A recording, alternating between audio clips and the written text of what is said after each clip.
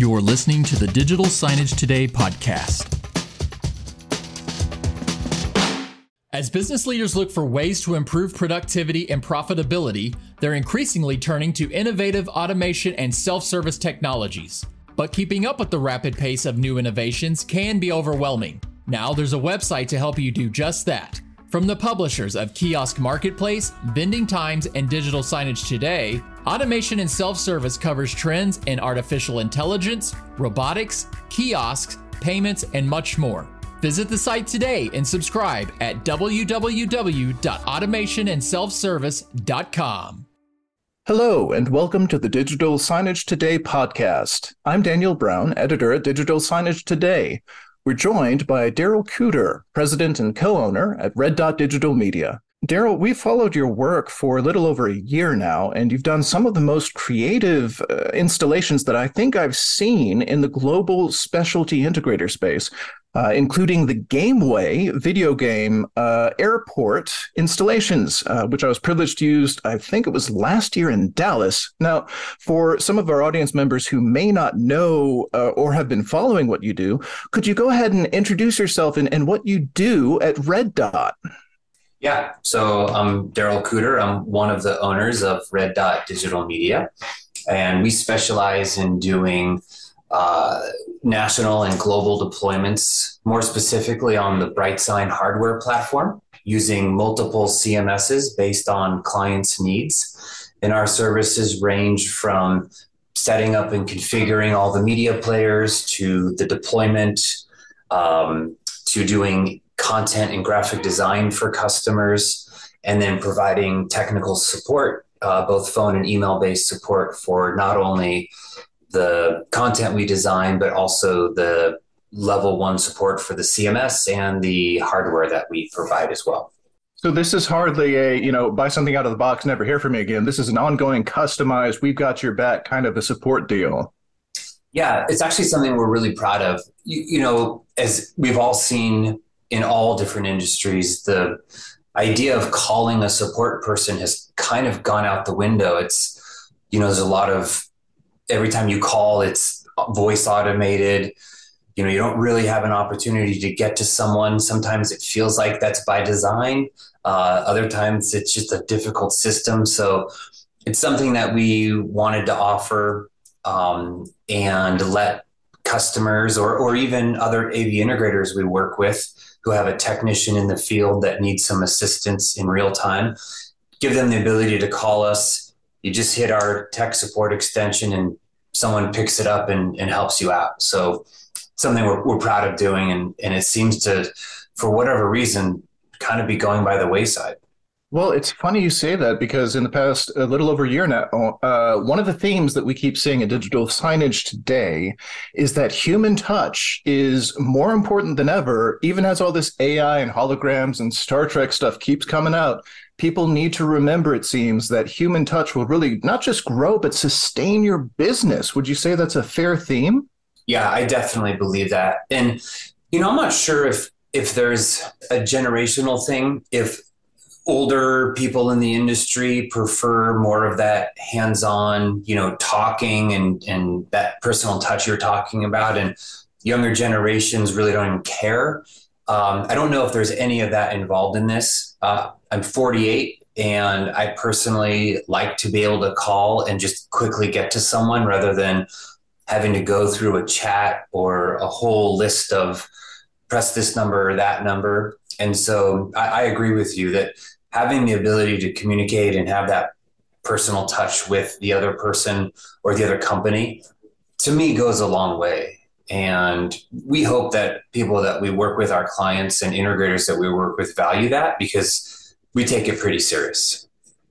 I, I love that. We were just at uh, in Charlotte. I, I, was privileged to work and, and to see EJ Kritz present on some new research on Gen Z.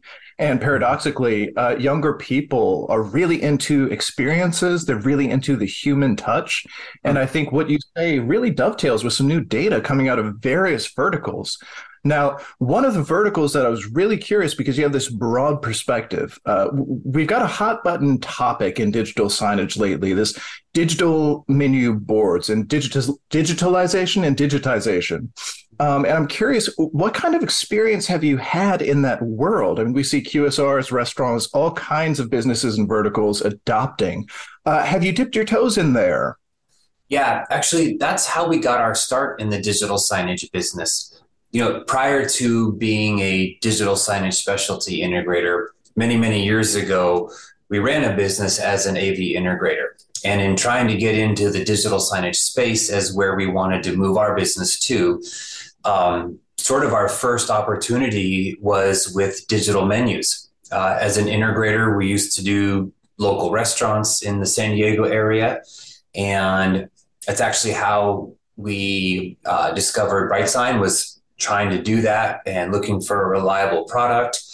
And one of the first trade shows we ever attended was with BrightSign. I think it was back in 2013 was the National Restaurant Association trade show in Chicago. And we had done that for probably eight years. I think it was only when COVID started that we didn't, uh, we decided not to go anymore, partly because they didn't hold it that year. Um, but we have been doing the restaurant trade show um, and really specializing in, in digital menus. Um, we worked directly for a while with US Foods as one of their partners in their um, buying program for their customers as the digital menu provider. And so we have a lot of history doing digital menus as Red Dot Digital Media. That's amazing. I love that. And I just want to zero in. This is something that we had mentioned um, in our previous conversation with Gameway, I think. You're not necessarily a promotional partner with BrightSign, but you you really seem to like using their stuff. Can you just say a word about what made you? And it sounds like you're willing to work with with other hardware and so forth, but you really enjoy using that BrightSign ecosystem. What's going on there? You know, like I said, when we first started out as an AV integrator, just sort of dipping our toes in the digital signage space and, and trying to learn more about it you know, one of the things at that time that was always very difficult for me is we were working with large scale manufacturers, and I won't mention any names, but you know, we were be- being shipped product that was essentially dead on arrival. Like you, you open it up, uh, and the the product wouldn't work, or something would happen, and immediately you'd have to contact technical support and try to figure out why this device wasn't turning on they would end up ultimately, you know, shipping us another one.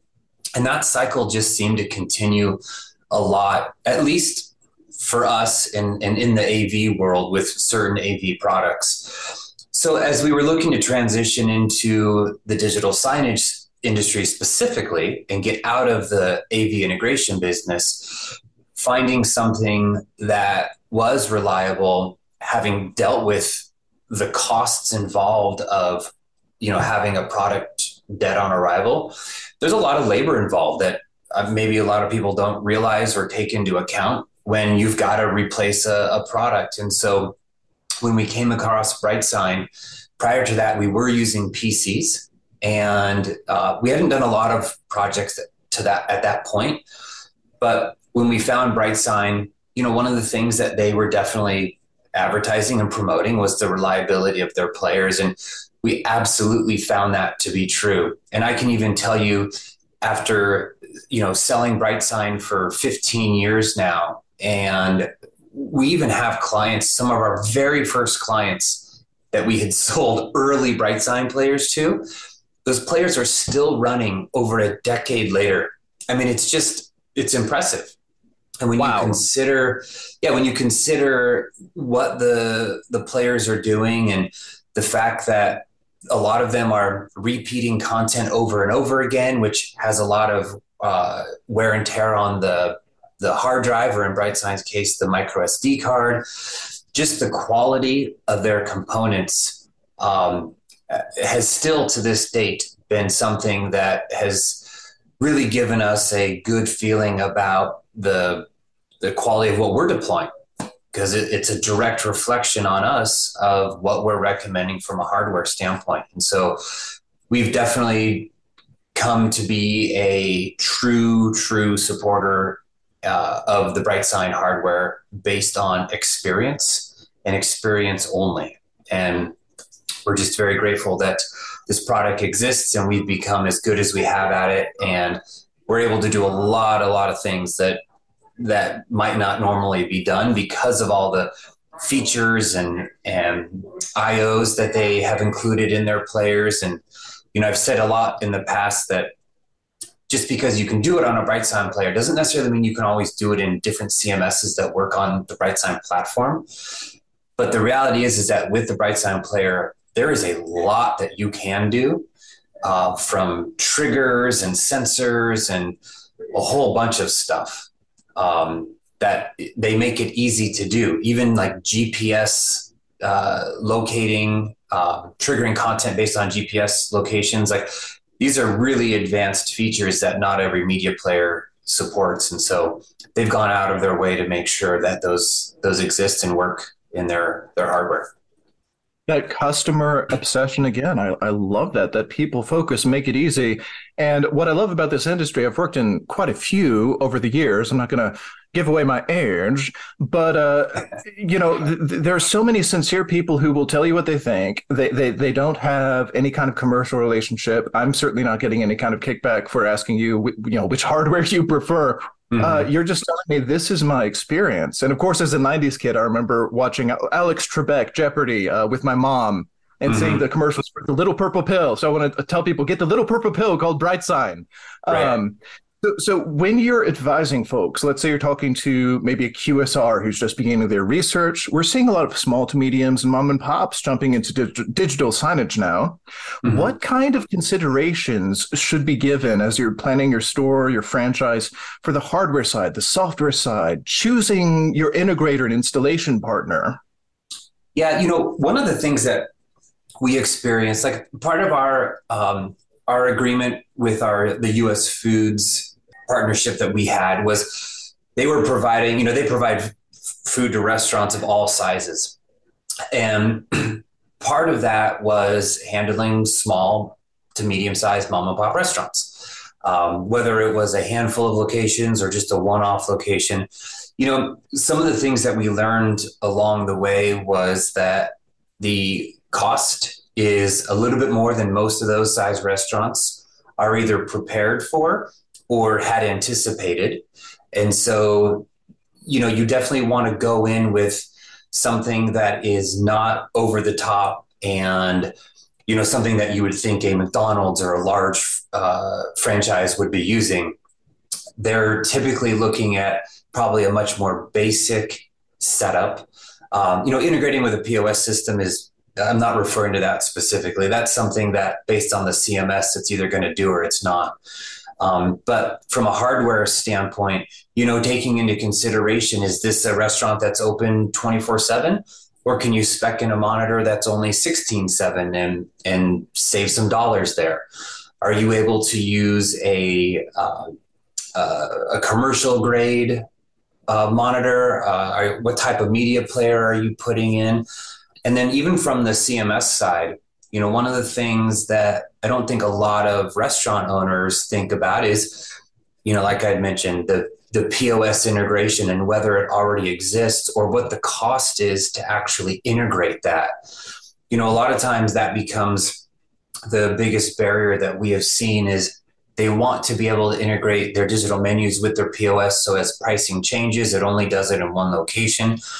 And you know, that's that's easily doable, but the reality is is that it does cost money a lot of times to do a one-off integration or from a CMS side, if they're doing it, you know, we're not a CMS. We're we're more of of an integrator from that standpoint. So to have a CMS that has already been integrated with Toast or or something like that might be more common. But when you talk about integrating with a smaller POS system, you know, it's probably not it's probably not available.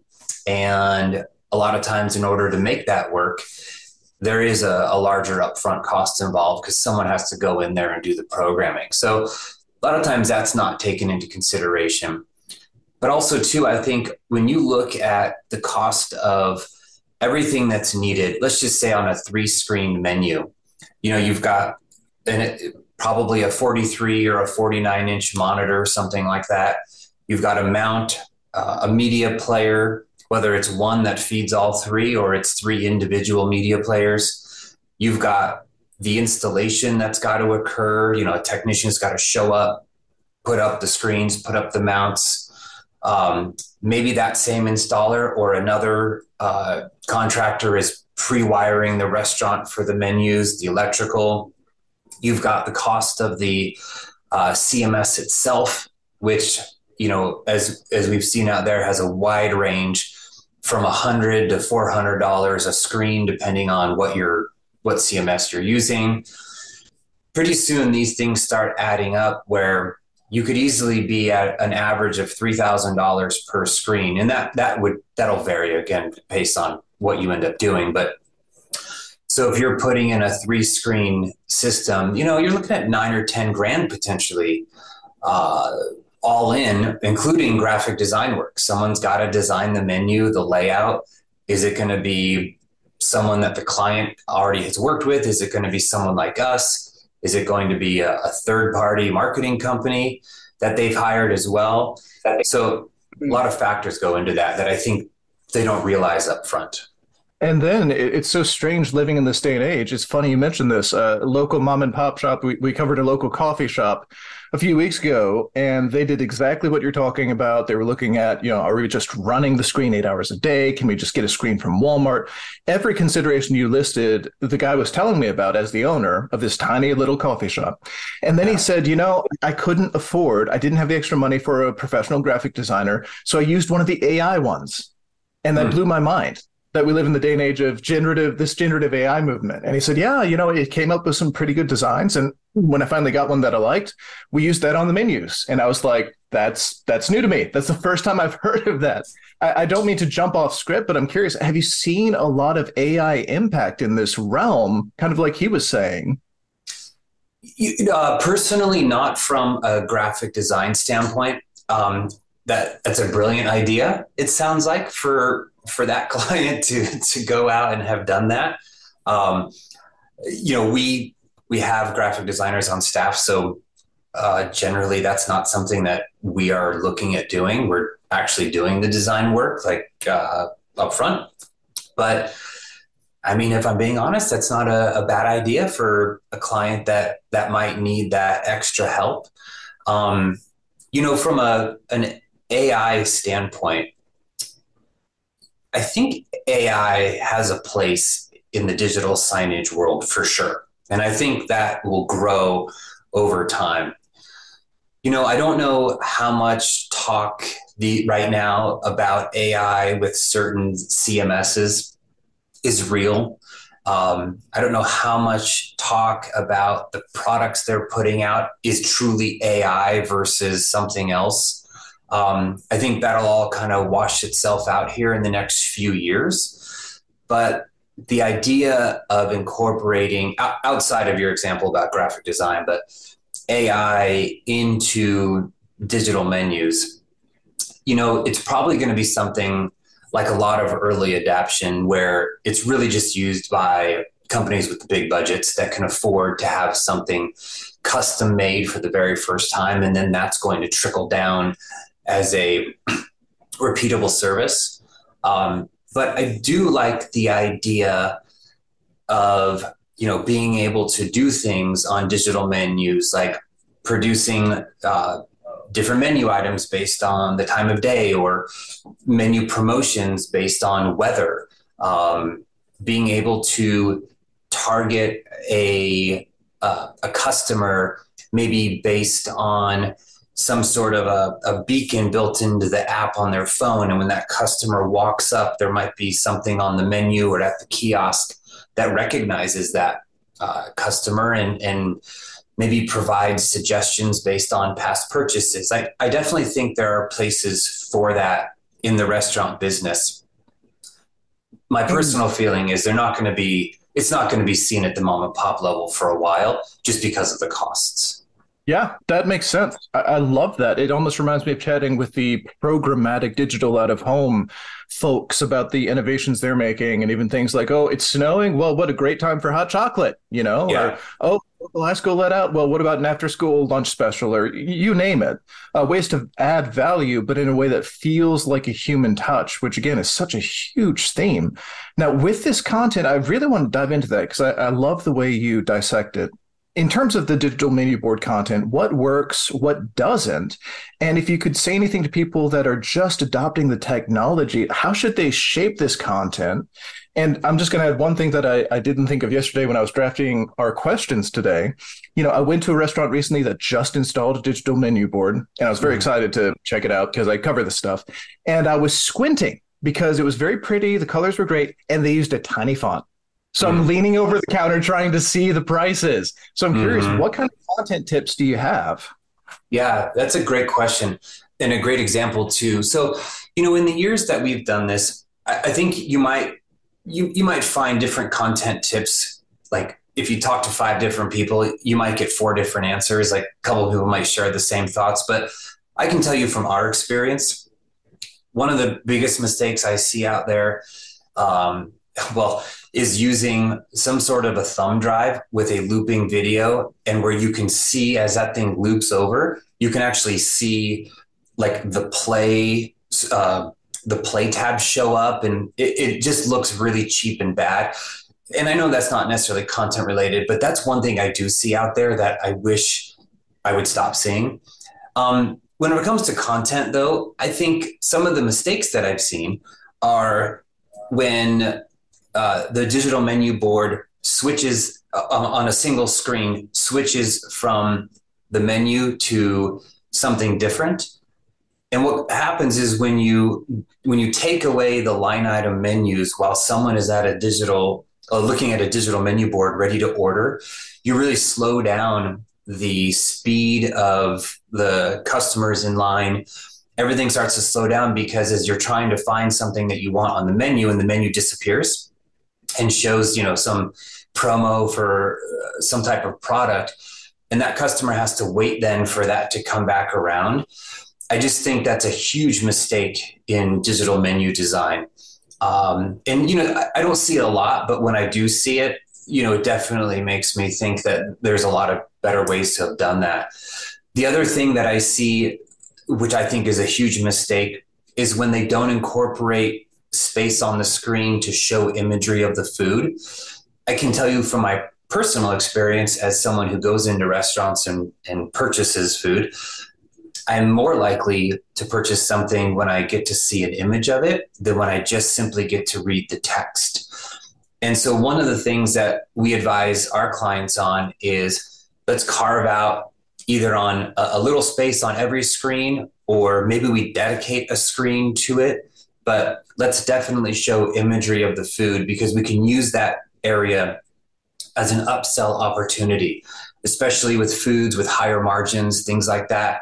Um, those are the things that you know you don't necessarily want to be promoting your French fries unless they're world famous and you're known for it. Like you want to be promoting things that really drive revenue, and the best way to do that is typically through imagery. And so having a menu board with no images and it's basically a static sign.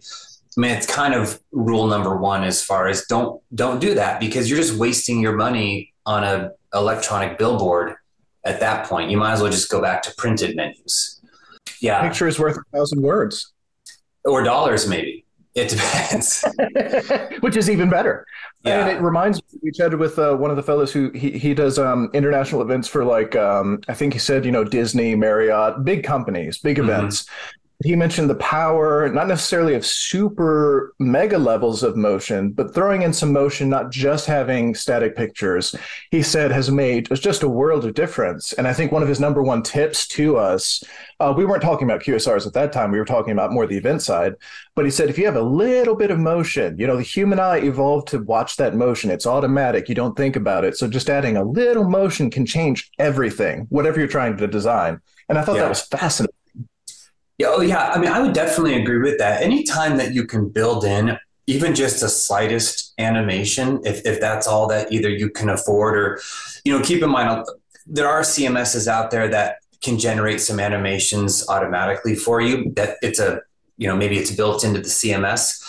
Otherwise, you're having to hire someone to create the animation. So it does depend on, you know, what the animation is as far as what it looks like and how it's on the screen. But I, I definitely agree. I feel like, you know, the digital menu board in inside of a QSR is definitely the one opportunity or the main opportunity, I should say, that a restaurant has to grab someone's attention. You're naturally going to walk in and look at that thing while you're standing in line waiting to order. Make it interesting, make it fun, make it move, and you know make it worth your money as the the restaurant owner. And so, uh, you know, I think having animations are are great, motion graphics, that kind of thing. You know, one other thing that I will point out that we see a lot of, and and we're constantly trying to advise clients to to slim it down a little bit, is too many menu items on the screen. And a lot of times, to your point, Daniel, they have to then make the text extremely small in order to fit it all. And you know, we when we first started out, we had sort of this guideline of you really don't want more than 15 or 20 items on a screen max. I would probably even argue now today that even that's too many. Like, if you were to walk into a McDonald's and you actually look at how many menu items are on a single screen, it might be five or six. Um, I mean, it's minimal, and and that in turn, though, is what gives a company like that the rest of the screen to also do animated promotions and upsells and, and things like that. And I think that's a, a big thing that smaller restaurants struggle with is for some reason they all want to have, you know, 40, 50 menu items. And when it comes to digital menus, that's the wrong direction to go into, in my opinion. You, you got to have a small, narrow, concise menu. Gives you more room to do more on the screen and avoiding the decision paralysis. I remember years ago, I was a huge Chef Robert Ir- Irvine, and uh, in all of his television shows, he would go after the restaurants with you know a hundred menu items, and he's like, yeah. "There's too much to pick. There's no way you can keep all this in stock and keep it fresh. What are you doing?"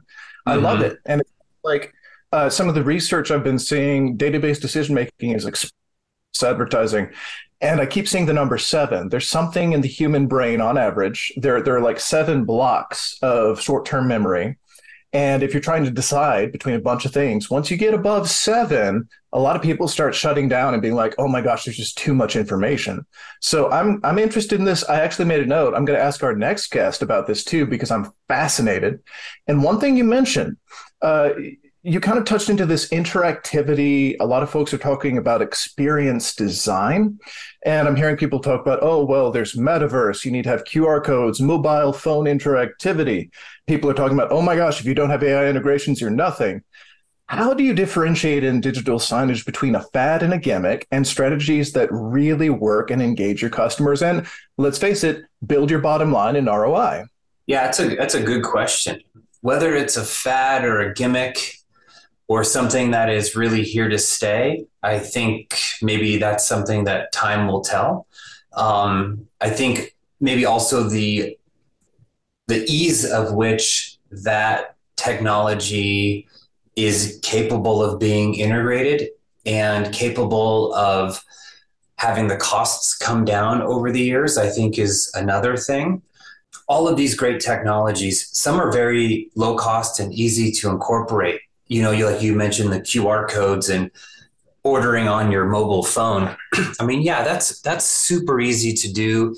It's being done all the time. You know, we're doing it in all different verticals, not just restaurants where you're taking the content from that screen and, and putting it to your mobile device so that you have a little bit more comfortability maybe in, in how you're using it. Um, so I think there's things like that that are here to stay. Uh, you know, in reference to something like the different things that are being developed in the AI space, I mean, we'll see. I I think there's a need for it, and there's a lot of good companies out there working on good opportunities right now.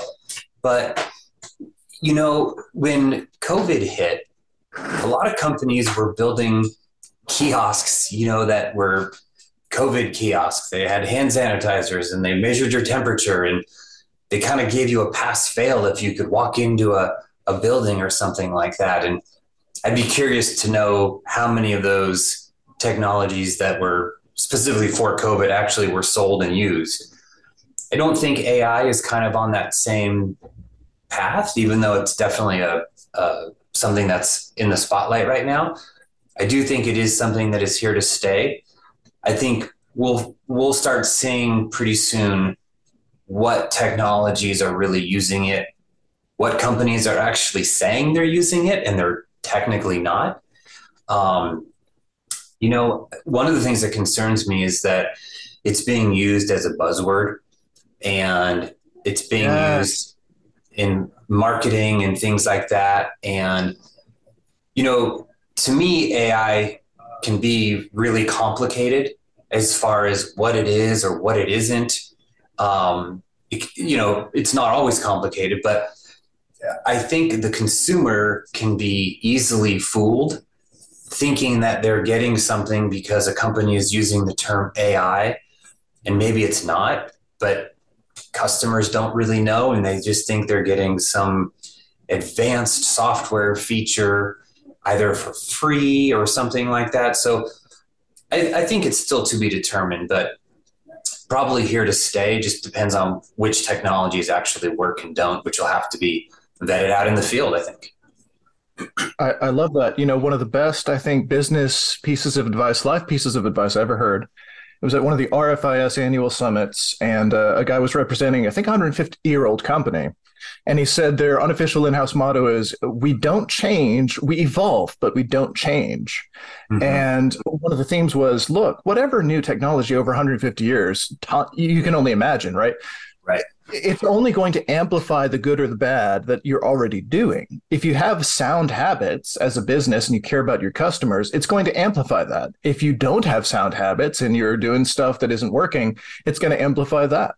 And I think the theme was just, you know, focus at the end of the day on that human impact, add value for your customer, have the servant mindset, you know, make their life easier and with whatever tools come along. And that's what true future proofing is. It's not just using gimmicks and throwing something in and saying, well, look, we have an AI powered digital menu, so we're going to be successful. That's not how business works.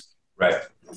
Yeah. Yeah. And I think in the digital signage space, you know, the, at least from where I sit, the, it's the CMS software that really is going to be driving a lot of what's incorporated, what's capable of working.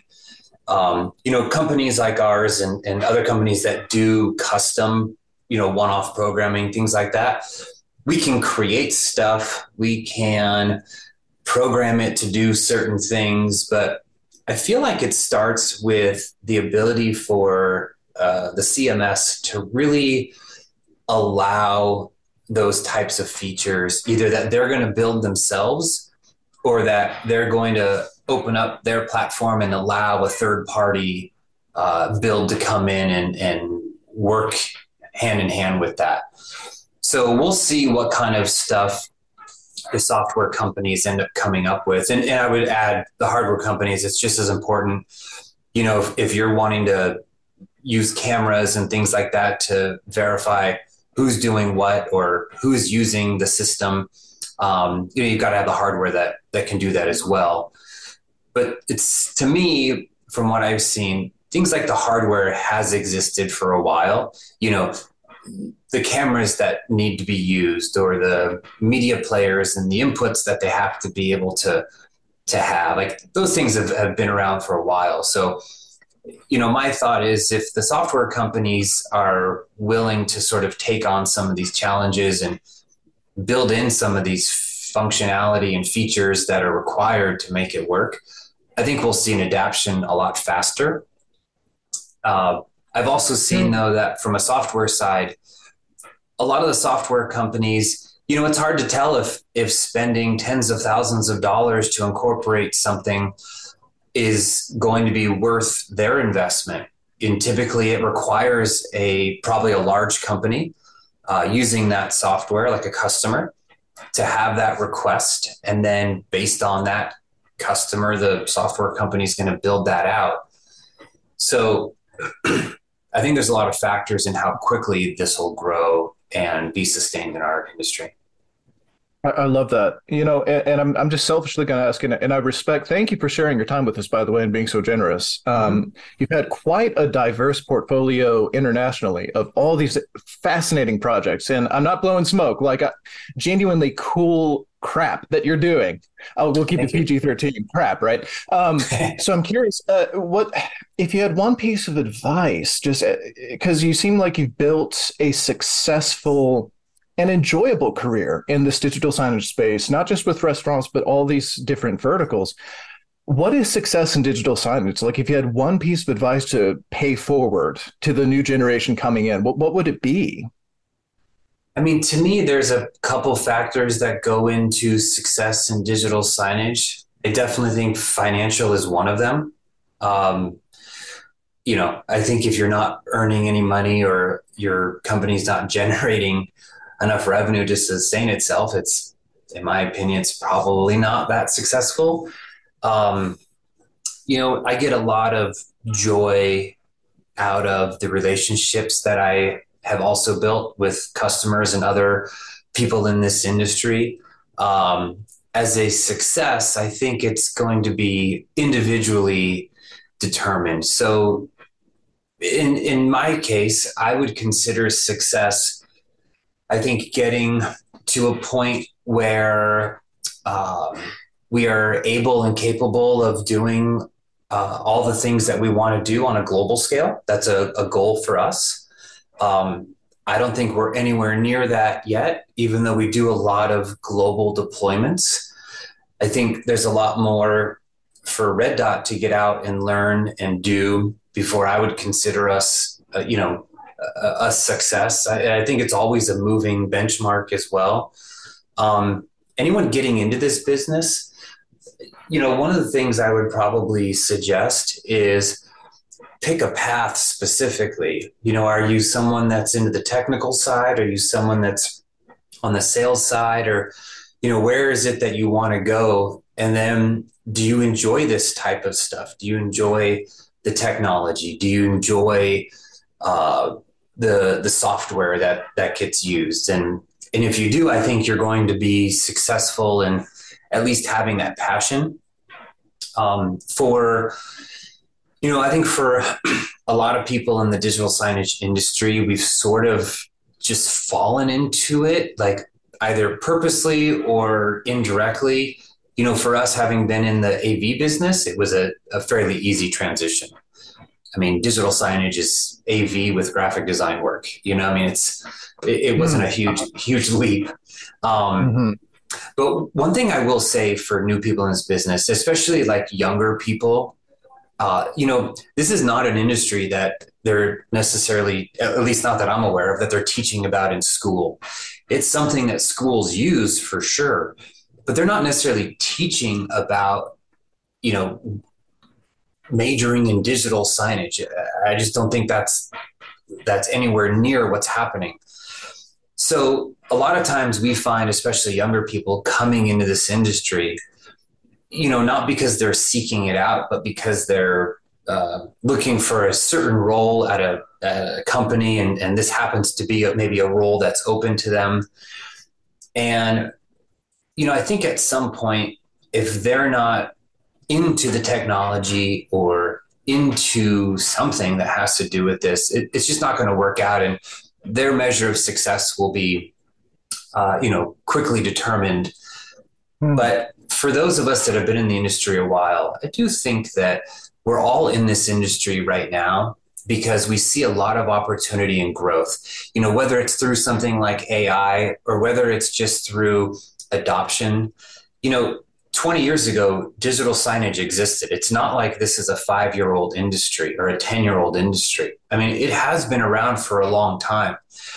But I think we're just getting to a point where, you know, if you're not adopting as a, a company some type of digital signage, you know, you're, I, I don't know what's going on. That it's at the point now where it's so commonly adopted that it's becoming more mainstream. And that's, I think, really driving some of the growth as well.